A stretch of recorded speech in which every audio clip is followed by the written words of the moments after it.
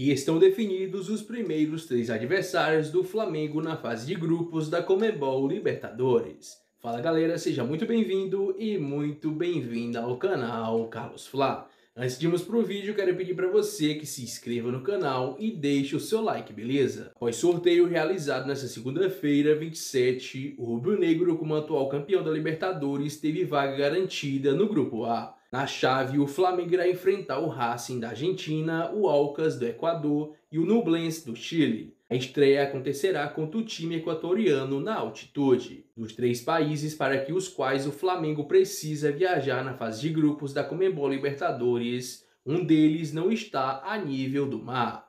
E será justamente na altitude a estreia do rubro-negro na primeira fase na competição continental. O primeiro adversário do Mengão será o Alcas, que se encontra em Quito, capital do Equador, onde existe a altitude de 2.882 metros acima do nível do mar. A estreia do Flamengo na Libertadores, inclusive, é um obstáculo para o rubro-negro em meio às finais do Campeonato Carioca. Isso porque os dois Fla-Flus acontecem no dia 1 e 9 de abril. O duelo de abertura para o Mengão no Continental será marcado entre os dias 4 e 6 de abril. A edição na Libertadores de 2023 pode ser duplamente especial para o Flamengo. Primeiro, pela final ser disputada no Maracanã, o templo sagrado do futebol. Segundo, pois caso o rubro-negro levante a taça, se tornará o primeiro brasileiro tetracampeão da competição. No país, apenas Palmeiras, São Paulo, Santos e Grêmio são tri ao lado do mais querido.